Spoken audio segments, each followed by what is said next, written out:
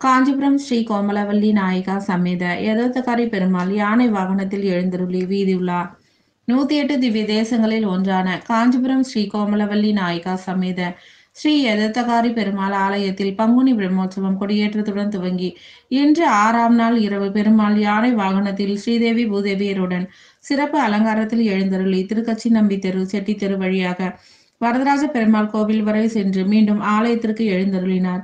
மேல தாளங்களுடனும் வேண்டு வாத்தியங்களுடனும் வலம் வந்த பெருமாளை பொதுமக்கள் மற்றும் பக்தர்கள் கலந்து கொண்டு தீபாராதனைகள் நைவேத்தியங்கள் சமர்ப்பித்து கோவிந்தா கோவிந்தா கோஷமிட்டு பெருமாளை தரிசனம் செய்தனர். இதில் ஏராளமான பக்தர்கள் கலந்து கொண்டு பெருமாளின் பேரருளை பெற்று சென்றனர். இதனைத் தொடர்ந்து காலை விமர்சையான உற்சவமான திருத்தேர் உற்சவம் நடைபெறுகிறது என ஆலய நிர்வாகம் சார்பில் தெரிவிக்கப்பட்டது.